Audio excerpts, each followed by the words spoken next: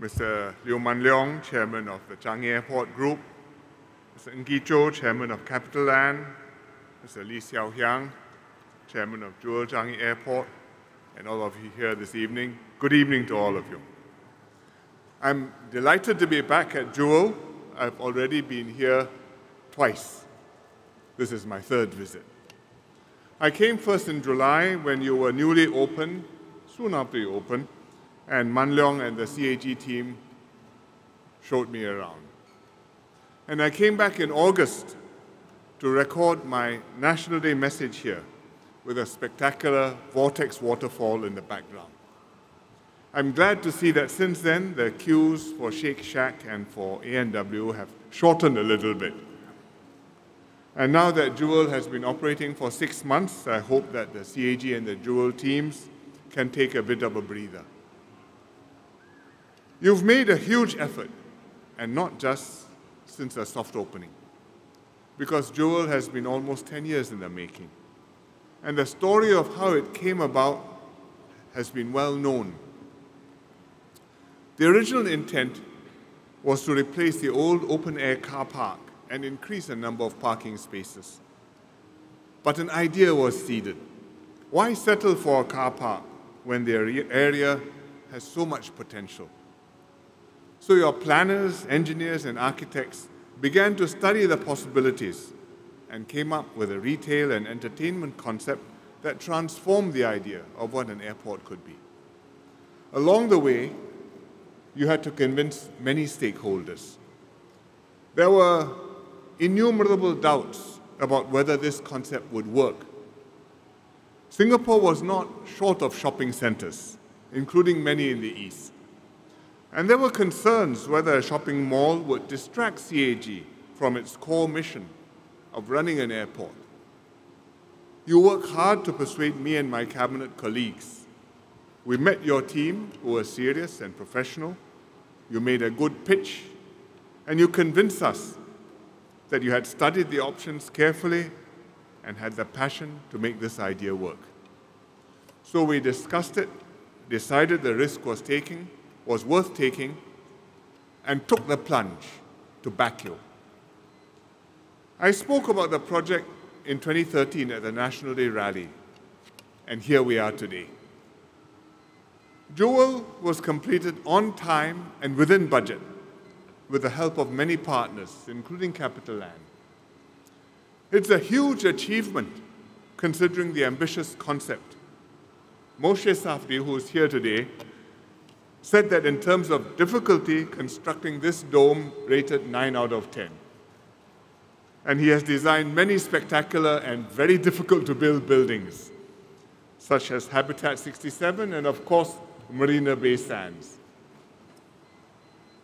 Jewel has become one of the instantly recognizable icons of Singapore.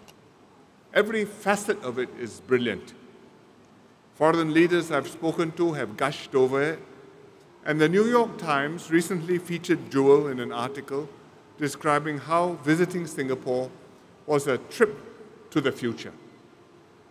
And this is remarkable because usually tourists want to leave the airport as soon as they can.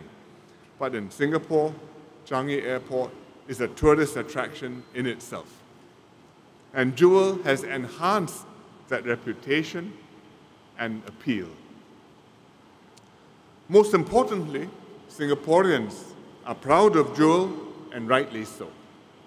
It resonates with us because it reminds us that when we dream big and apply ourselves, nothing is impossible. Many people have come here just to see and enjoy Jewel. There was plenty of buzz and excitement among Singaporeans, young and old. When Jewel opened for pre opening visits, more than half a million of us signed up. And since then, the number has grown hugely. Around 50 million visitors by now, many of whom are repeat customers like me. One MP told me that a nursing home in his constituency makes regular excursions here because the patients enjoy the garden and the free aircon. Jewel has undoubtedly also made Changi Airport more competitive. Last year, 65 million travelers used this airport, including those on transit. And I'm confident that with Jewel, this year, Changi will break that record. Indeed, Changi is special to Singaporeans. We've watched how our airport has grown and developed. Who would have imagined that when we decided to shift our airport from Paya Lebar to Changi, that one day we would make it the best airport in the world. It's a reflection of our journey from third world to first. Each time we come home after a long trip, get off the plane, pick up our luggage, pass through immigration, and see the sign, Welcome to Singapore, we are filled with a warm feeling. And we are reminded how fortunate we are that Singapore is our home. Let me share a backstory with you. In 2013, when I was considering whether to talk about Jewel and our plans for Changi at the National Day rally, we did some message testing, but the focus groups were not enthusiastic. Some thought it was unwise to end the speech with infrastructure projects, too cold, impersonal. I weighed the views and eventually decided to press on. I wanted Singaporeans to understand that Jewel and Changi Airport were not only an infrastructure story. Instead, they represented an idea, they were a symbol. They epitomized how Singapore, here, we must dream boldly to create possibilities for ourselves. It was an act of faith to believe that Changi could do this and that Singaporeans working together could make amazing things happen. In the end, Jewel was the one thing that people remembered from that National Day rally.